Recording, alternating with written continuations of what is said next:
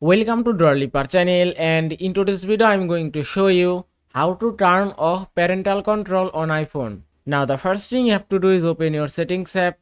Now from here go to screen time and then scroll down then go to content and privacy restriction. Now you have to disable content and privacy restriction from here.